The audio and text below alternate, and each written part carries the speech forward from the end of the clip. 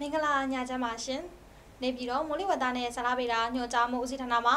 2024ခုနှစ်ဖေဖော်ဝါရီလ9ရက်နေ့ည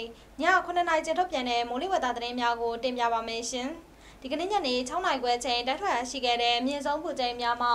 နေပြည်တော်မှာ32ဒီဂရီဆယ်စီယပ်90ဒီဂရီဖာရင်ဟိုက်ရန်ကုန်မြို့မှာ34ဒီဂရီဆယ်စီယပ်93ဒီဂရီဖာရင်ဟိုက်နဲ့မန္တလေးမြို့မှာ32ဒီဂရီဆယ်စီယပ်90ဒီဂရီဖာရင်ဟိုက်တို့ဖြစ်ကြပါတယ်။ ဒီကနေ့ညနေ6နာရီခွဲချိန်မိုးလေဝသကြိုးမှာဖဲဥရရှိတဲ့ပုံရကပလီပင်နယ်ပြင်တောင်ပိုင်းနဲ့ဘင်္ဂလားပင်လယ်အော်တောင်ပိုင်းတို့မှာတိမ်တက်တဲ့မှတိမ်ထူထပ်နေပြီးကပလီပင်နယ်ပြင်မြောက်ပိုင်းနဲ့ကြံဘင်္ဂလားပင်လယ်အော်တို့မှာတိမ်နှဲငယ်ဖြစ်တော့နေပါတယ်။မြန်မာနိုင်ငံမှာကတော့မြဝကျုံမော်ဒေသတွေမှာတိမ်ကင်းစင်နေပြီးကြံဒေသတွေမှာတိမ်နှဲငယ်မှတိမ်တင်တင်ဖြစ်တော့နေတာကိုတွေ့ရပါတယ်။ဘင်္ဂလားပင်လယ်အော်ချိန်တွေကတော့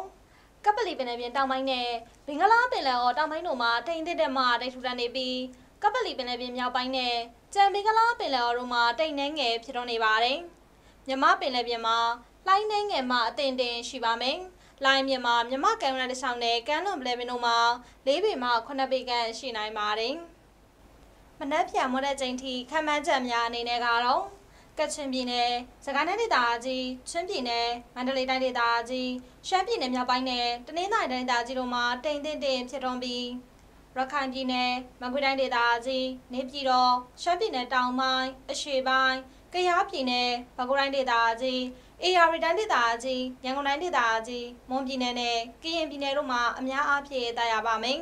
။နေပြည်တော်နဲ့အနီးတစ်ဝိုက်အတွက်မနက်ဖြန်မွတ်တဲ့ချိန်ထိမိုးလေဝသချိန်တွေခန့်မှန်းကြမှာ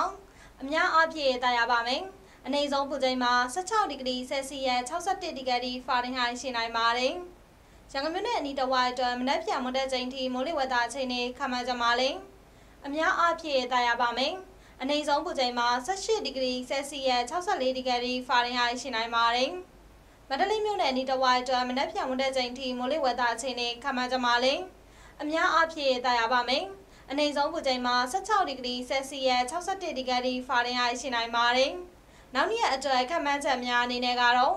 ကချင်ပြည်နယ်၊စကိုင်းတိုင်းဒေသကြီးထပ်ပိုင်း၊ချင်းပြည်နယ်နဲ့ရှမ်းပြည်နယ်တို့မှာညပူချိန်များအနည်းငယ်လျော့နေနိုင်ပါတယ်။လာမယ့်စနေတနင်္ဂနွေအားလရက်များအတွက်မိုးလေဝသခန့်မှန်းချက်များအနေနဲ့ကတော့နေပြည်တော်မှာအများအားဖြင့်တာယာပါမယ်။ရန်ကုန်တိုင်းဒေသကြီးမှာလည်းအများအားဖြင့်တာယာပါမယ်။မန္တလေးတိုင်းဒေသကြီးမှာလည်း အများအားဖြင့်တာယာပါမယ်။အခုတင်ပြခဲ့တာကတော့ဒီကနေ့ည9နာရီချိန်ထုတ်ပြန်တဲ့မိုးလေဝသသတင်းများပဲဖြစ်ပါတယ်။ကိုစိတ်နှပြချမ်းသာချမ်းသာကြပါစေရှင်။